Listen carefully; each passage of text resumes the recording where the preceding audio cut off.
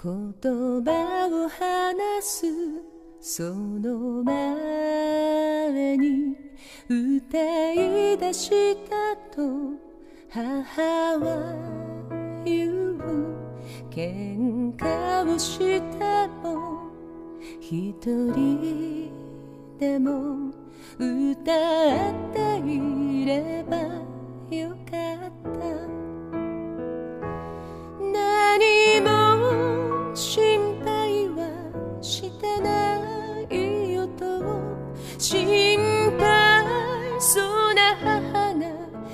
送ったのは桜舞う駅。ずっと旅してきたよ。溢れる思い唇に乗せ。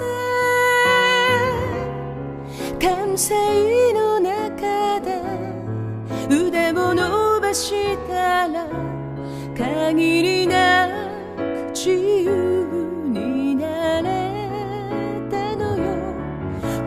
ないものなんてなかった目をつぶって走ったりした。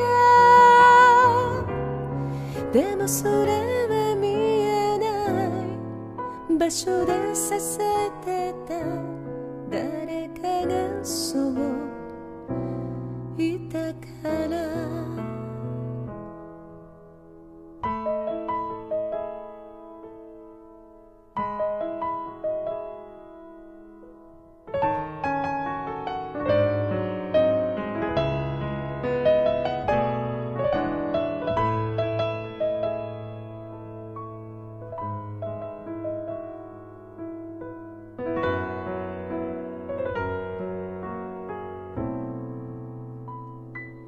きっと些細なこだわりで傷つけた人いたけれどなぜか笑っていてくれた頑張れと肩叩いて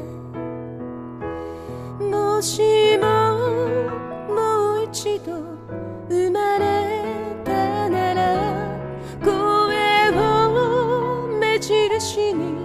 見つけ出してね。思い出してね。ずっと歌い続けよう。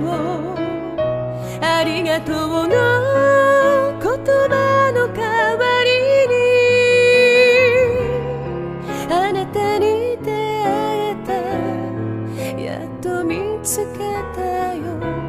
私が生きてゆけるわけをいつもぬくもりをありがとう。寂しかったよりもありがとう。たくさんの愛が私を作ってる。人生は美しい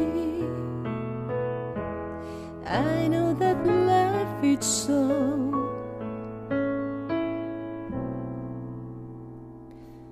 beautiful